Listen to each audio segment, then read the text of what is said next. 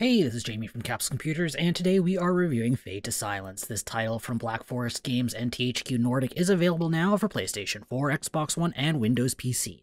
At the time of the recording of this video, the game cost $39.99 US or $59.95 Australian. Endless winter has fallen on Earth. Eldritch horrors now prowl the wilderness. You are Ash, a man battling his own internal eldritch horror while trying to create a safe haven for his daughter, to do so, Ash will need to venture out into the wilderness to scavenge supplies, rescue survivors, and battle against the horrors. Fade to Silence is a rogue-lite survival game, so storytelling is minimalist. Players will learn about the world from exploring, chatting with survivors, and listening to the eldritch horror and dreaming during rest breaks. The writing is generally ham-fisted, awkward, and at times cringe-inducing. The interactions with survivors are too occasional to develop any serious attachment to them, the eldritch horrors that pester Ash is maddening for all the wrong reasons, as it is repetitive and annoying instead of creepy. At best, the story is context for the game, at worst, it's a nuisance. Fade to Silence mixes elements of Dark Souls type action, survival, and roguelite gameplay. Ash's actions are restricted by his stamina bars, so players need to choose their actions wisely in combat. Resources do not respawn, so healing items are limited. Dodging, parrying, and blocking is a must for long term success. The combat system is solid, attacks are well telegraphed, leaving much to player skill. There are a few hitches where Ash may get stuck on something in the environment, but it's not a common occurrence. The game offers two difficulties. Explorer mode has unlimited lives, more resources, better followers, and is generally more forgiving. The main mode is not. Resources and respawns are limited, so players will need to plan ahead of time what they will craft to get themselves out of the gate and moving forward. Surviving outside of the settlement is tough. Staying warm is a constant challenge, especially when blizzards drive the temperatures and drop the visibility down to zero. Fade to Silence is not the type of game where players will master on their first playthrough. It's a game of trial and error to find out the most efficient way through the tech tree and the map. Being a roguelite, permanent death does not wipe all progress. Players are able to purchase boons for the next playthrough with items collected from major story events and clearing strongholds. The boons range from bonus starting resources to saved buildings and equipment. Additionally, Ash becomes stronger and more resilient each playthrough by collecting certain items. They are a huge time saver and create some feeling of progression between attempts. Getting into Fade to Silence can be difficult. The tutorials is bare bones, with players only taught the basics of combats and gathering before sent out into the world. There are slightly more detailed instructions in the survival guide, but better tooltips would have been appreciated.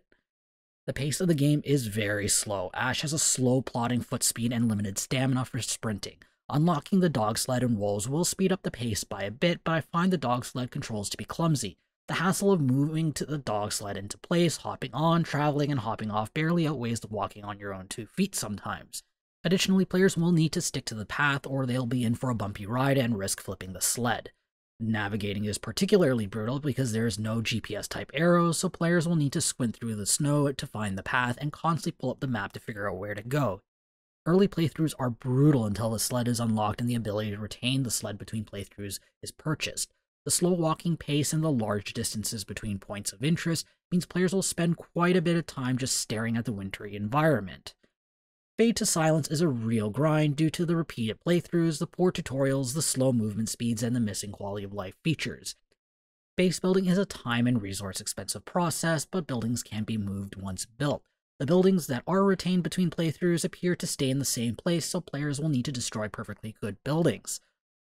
Starting new games will take players through the initial tutorial each time, instead of providing the option to skip through.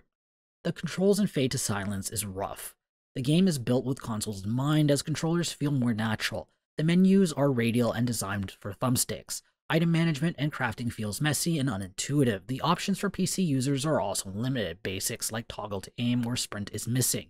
Several menu keys are hard-coded, so those who don't use WASD or QWERTY keyboards may have trouble. The visuals are a mixed bag. Fade to Silence's environments are nice. A lot of time has clearly been spent to create the winter wasteland where nature and eldritch horrors battle to reclaim the remains of humanity. The enemy character design is good. The eldritch horrors look alien, serving as a foil to the natural environment. On the other hand, the character models are rather clunky and awkward looking. The audio experience is rough. The sound effects are probably the best of the bunch. A lot of attention has been paid to the sound of the footsteps treading across a variety of winter terrain.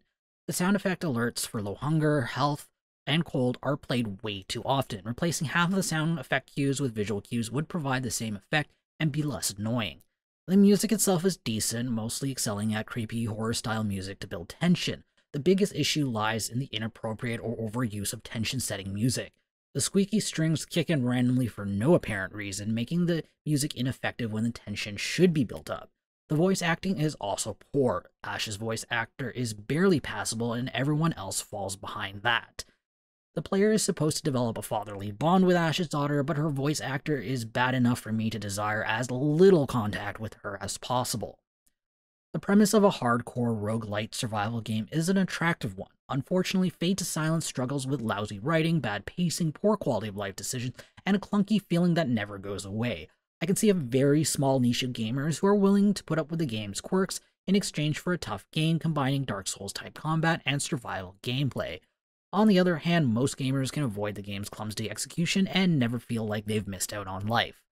I'm awarding Fade to Silence 6 capsules out of 10. If you want to read this review, be sure to check out the link in the description or in the video's card.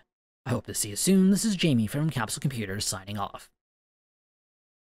Hey YouTube, if you enjoyed this video, be sure to like it and subscribe to Capsule Computers for more awesome videos. If you're looking for more videos to watch, check out our review of World War Z here on the left. If you're looking for another survival game to play, check out our review of Generation Zero here on the right.